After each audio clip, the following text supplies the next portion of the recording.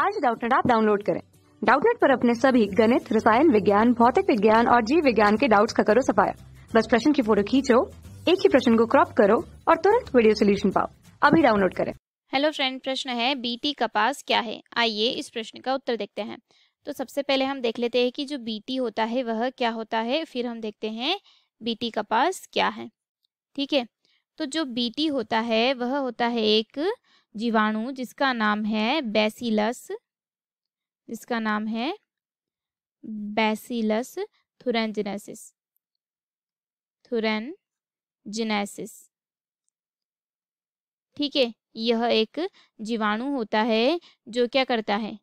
जो बीटी जीवाणु रहता है, इसमें पाया जाता है, इसका जो प्रोटीन रहता है, उनमें पाया जाता है विष। ठीक है, जो किस कार्य, क्या कार्य करता है यह? यह कार्य करता है कीटों को मारने का। कीटों को मारने का कार्य करता है। कैसे कार्य करता है कि जब जो कीट रहते हैं, इस बीटी नामक फ़सल को ग्रहण करते हैं। तो क्या हो जाता है, यह जो विष रहता है, यह विष सक्रिय हो जाता है, उनकी आंत में और उनको क्या कर देता है? मार देता है। ठीक है, अब पूछा गया था हमसे कि जो बीटी कपास होती है, वह क्या होती है?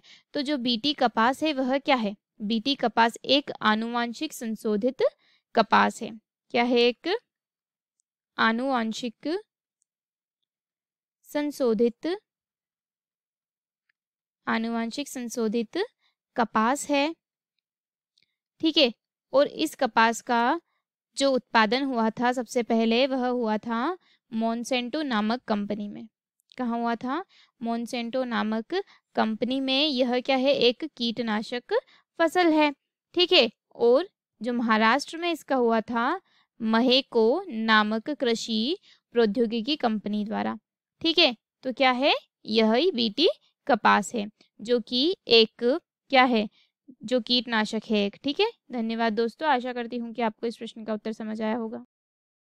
कक्षा छठी से बारहवीं से लेकर NEET I I T JEE वो एडवांस के लेवल तक। एक करोड़ से ज़्यादा छात्रों का भरोसा।